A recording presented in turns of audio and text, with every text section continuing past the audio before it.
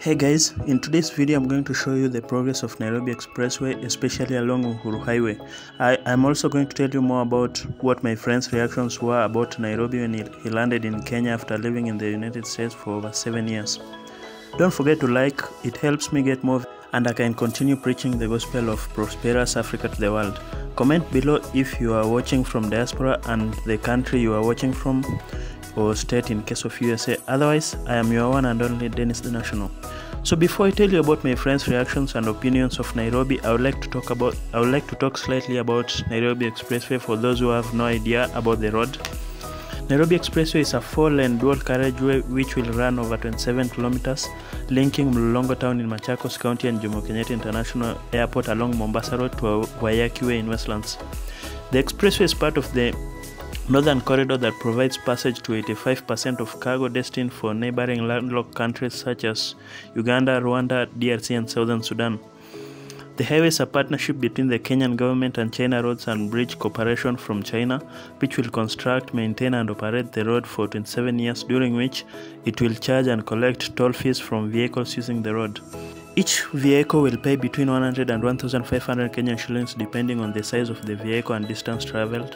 Comment below what you think about the toll fees prices.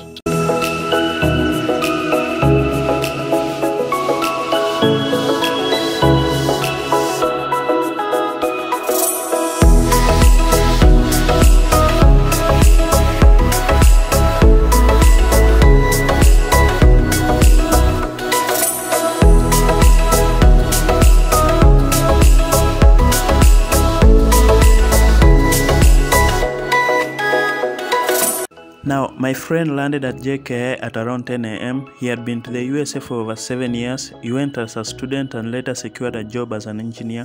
He had always watched my videos about Nairobi city infrastructure developments and always missed home. But the moment we, start, the moment we started driving from JKIA and joined the Mombasa Road, he noticed something different. Something had changed from the time he left. The Nairobi Expressway, he said, felt like Dubai and USA where such roads exist. All I could tell him is that it's time for Africa.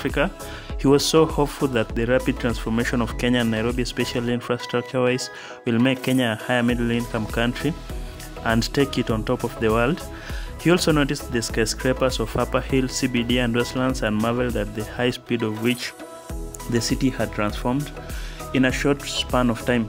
He promised to heed my call for Kenyans in diaspora to invest home and create employment and economic development. He finally promised to move back to Kenya, saying after all the years abroad, his heart has always and will always be in Kenya. So, guys, I'm going to drive all the way to uh, Nyayo roundabout so that, that you can see the progress of the Uhuru Highway uh, Nairobi Expressway construction.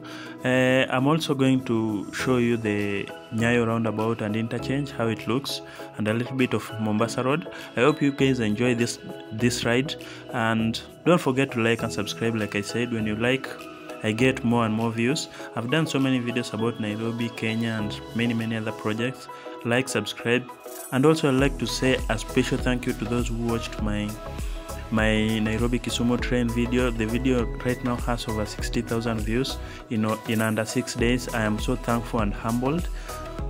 I know I will go far by doing this, and I know I have to do it better and better each day. I know I have to get better at this so that you guys can also enjoy enjoy watching this. To my friends in diaspora thank you for always supporting me. You can still support me i'll leave my details below. You know every time you support me either on patreon or you send me something it helps me make more and more videos like this. And i can also travel wide and outside nairobi maybe in mombasa lamu and other places few people have traveled below.